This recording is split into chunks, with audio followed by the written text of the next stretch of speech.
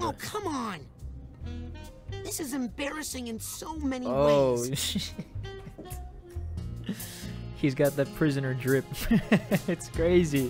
What the hell? Holy shit. What the heck? It's built different. It's built like a plastic bag.